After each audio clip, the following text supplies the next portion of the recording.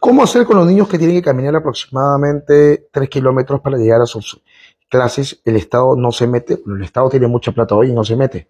Pudieran comprar ómnibus y llevarlos y traerlos, cubrir la gasolina, el el sueldo de los, de los que manejan, de los conductores, pero no lo hacen porque simplemente están más preocupados en asesoría de ideología de género y otras cosas más, antes que verdaderamente dar educación de calidad con la infraestructura, con internet, con computadoras, con tablets, con eh, pizarras inteligentes y otras cosas más. Bueno, como el Estado no se preocupa por eso, porque no compite, no le interesa competir, no le importa dar de calidad porque no compite. El problema de la escuela pública o estatal es que como no compite, no tienen por qué forzarse. Aparte han aprobado 14.000 profesores este congreso repugnante, profesores que han desaprobado en la carrera magisterial en el examen y han sido incorporados como nombrados. Un nombrado, ¿por qué se tendría que forzar? Te voy a explicar, voy a responder tu pregunta explicándote con la pizarrita, creo que va a ser muy sencillo. Muy bien, imaginemos que hay tres pequeños pueblos en una localidad, en una región.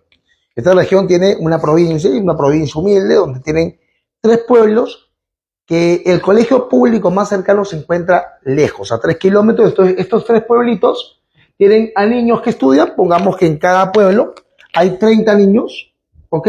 30 niños que tienen que ir al colegio.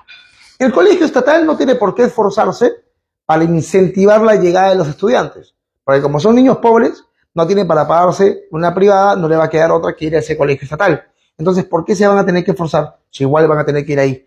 ¿Por qué tener que darle movilidad, alimentación, uniformes y todas las, herramientas de trabajo si al final están resignados a irse a ese colegio? Los papás de estos niños, que son 90 en total, van a tener que llevarlos siempre al colegio estatal.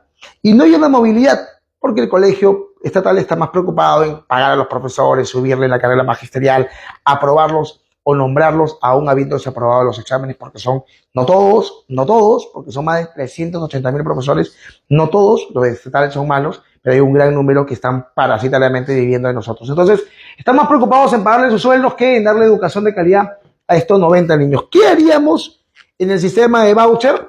Cada uno de esos niños tendría un voucher, vamos a multiplicarlo. Cada uno de esos niños ahora tendría un voucher de 6.600 soles. ¿Ok? 6.600 soles. Entonces, cada niño significaría 6.600 soles anuales. Entonces, ahora el niño o el papá de los niños no es el hombre de baja condición económica, de, problemas económicos, que no le queda de otra que resignarse y llevarlo al colegio estatal, que está de repente por acá el colegio estatal. Ponte que el colegio estatal está por acá, un colegio público, ¿ok? Sin internet, sin luz, sin agua, y pues es un desastre este colegio. Pero los niños están resignados a ir a este colegio caminando. Este camina 3 kilómetros, este camino, eh, los niños caminan 5 kilómetros, este camina 6 kilómetros. ¿Por qué? Tienen que ir a este colegio. En este tienen que cruzar ríos, puentes que se están cayendo, animales, exponerse al frío. Todos los días pasan por la misma situación. Entonces, como el papá pobre no tiene el voucher, ¿ok? No tiene el voucher, tiene que mandar a sus hijos ahí. Pero ahora el papá tiene un voucher de 6.600 soles, que no lo va a recibir él, sino tiene la potestad de usarlo en un colegio particular. Entonces, más alejaditos de este colegio estatal, un poquito más afuera de repente de la ciudad, hay un colegio privado y dos, otro colegio privado, dos colegios privados que van a competir entre ellos para captar a estos 90 estudiantes. Porque si tú no multiplicas 90 por 6.600 soles, es plata, es dinero, estamos hablando de mucha, mucha plata que estos colegios particulares van a querer tomar van a querer agarrar, van a querer ganarse esta plata que cada estudiante ahora representa. Entonces, estos colegios, para captar esta demanda económica, van a tener que dar una buena oferta económica.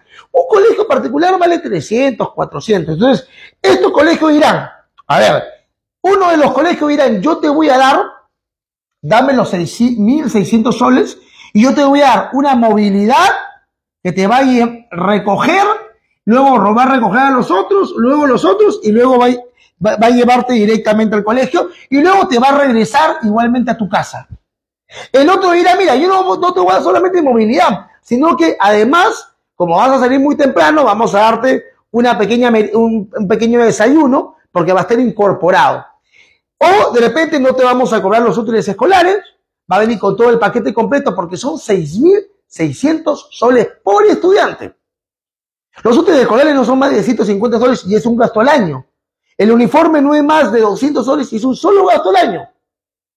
Estamos hablando de que 6.600 cubriría desayuno, cubriría movilidad, cubriría útiles escolares, cubriría uniforme.